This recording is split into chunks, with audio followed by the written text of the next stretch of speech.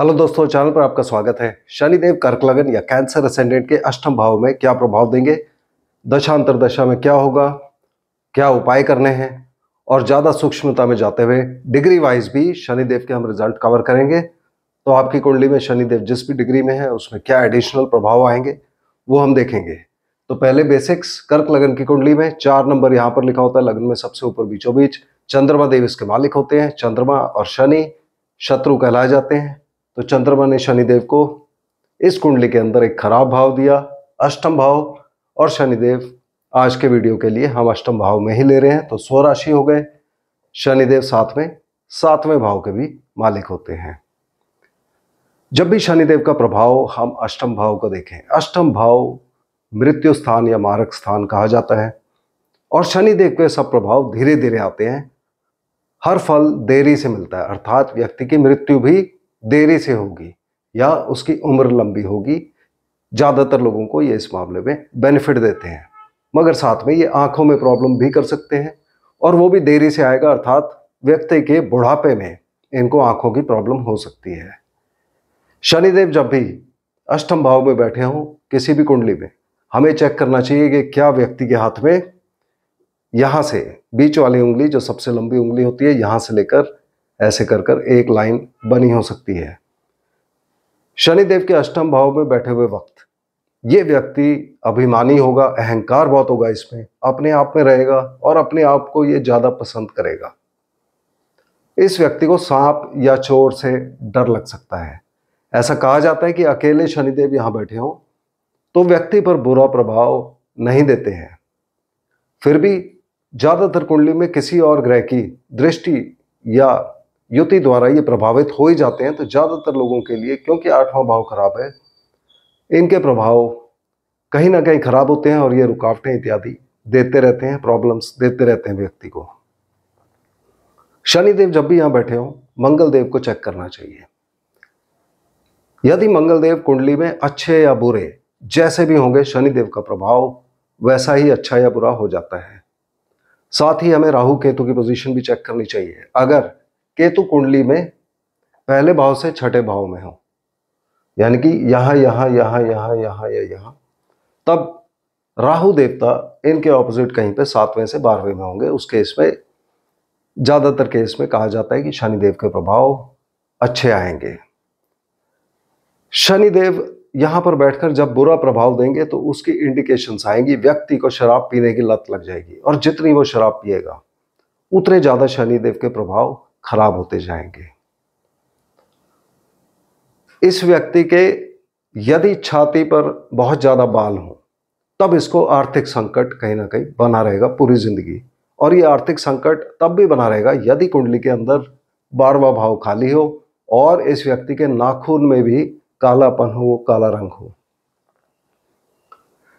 शनिदेव के यहाँ बैठने के वक्त ये व्यक्ति जब भी पैदा होंगे इनके पैदा होने से पहले या एकदम बाद।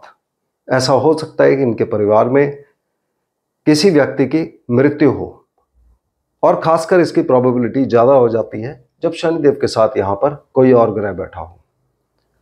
खासकर जब इन ग्रहों में से शनिदेव के शत्रु सूर्य, चंद्रमा या मंगल यहाँ पर बैठे हों, तब इसकी प्रोबेबिलिटी और ज़्यादा हो जाती है।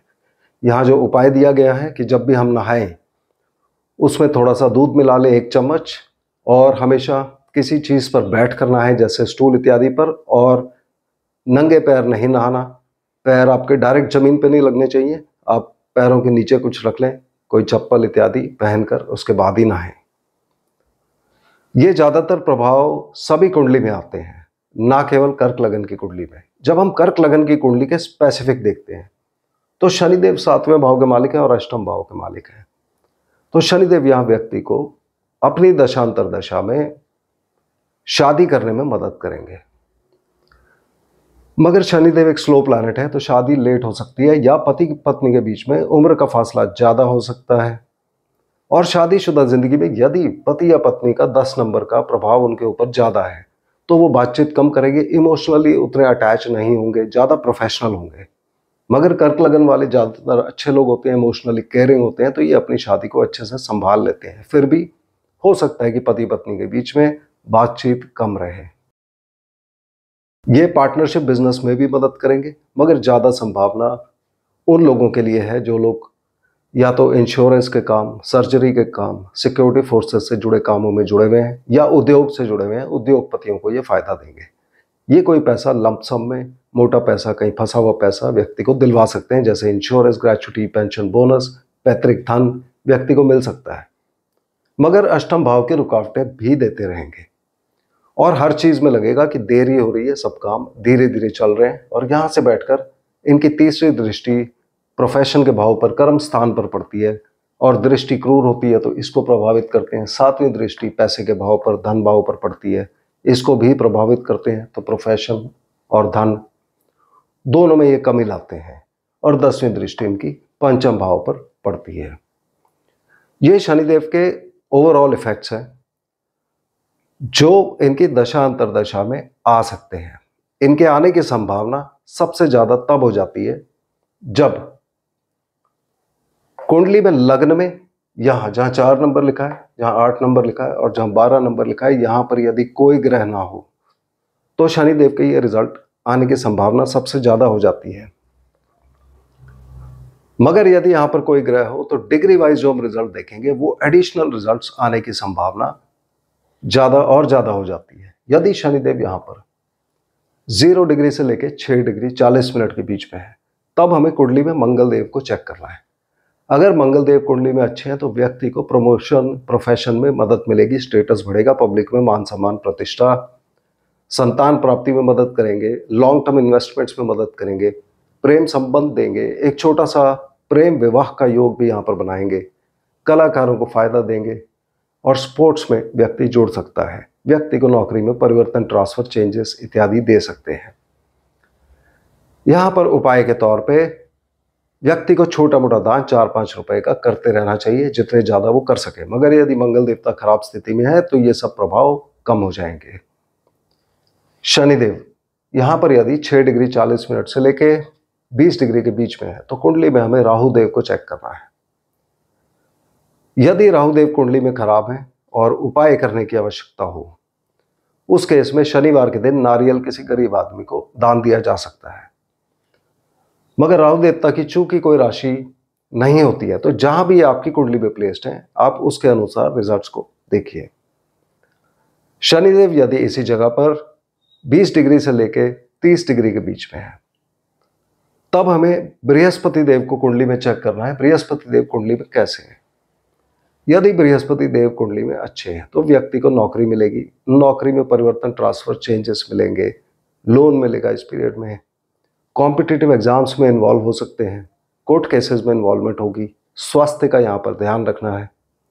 एक्सीडेंट इत्यादि हो सकता है। व्यक्ति की लंबी यात्राएँ होंगी, विदेश यात्रा की संभावना भी बढ़ जाती है।